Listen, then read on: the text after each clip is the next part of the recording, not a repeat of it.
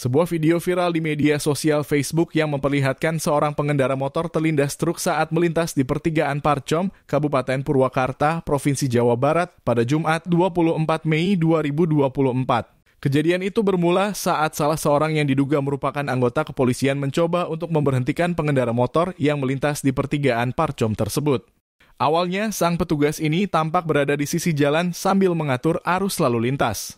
Kondisi arus lalu lintas pun terlihat ramai lancar dilintasi kendaraan roda 2, 4, dan sejumlah truk dari kedua arah.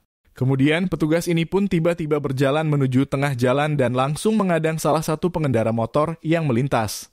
Sontak pengendara itu pun kaget saat motornya diberhentikan secara paksa. Terlihat pengendara itu pun langsung terjatuh dari kendaraannya. Pengendara itu terjatuh dan masuk ke kolong truk yang tengah melintas dari arah berlawanan. Seketika, pengendara motor itu langsung terlindas truk tersebut. Peristiwa ini pun mengundang perhatian warga sekitar. Arus lalu lintas pun tampak terhenti saat polisi dan para warga mencoba untuk menggotong korban ke pinggir jalan.